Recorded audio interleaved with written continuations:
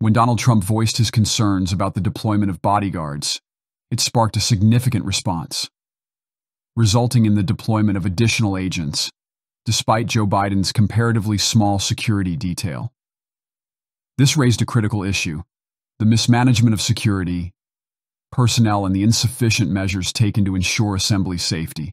I know many people in the FBI, they're great. They tend to be at the mid and lower levels. They're unbelievable. And they're, right. they're MAGA. Believe me, they're MAGA. They make America great again, people. But, uh, you know, there's some things going on with our government that we have to really worry about. Uh, did we have enough people? Why didn't we have enough people? Somebody said that a lot of people will put on Biden's uh, detail. The problem is Biden doesn't draw anybody. He draws flies. He draws nobody. And you know, you don't need very many people for that because he does not draw. He'll 30 people show up, and we have 55, 60,000 people show up.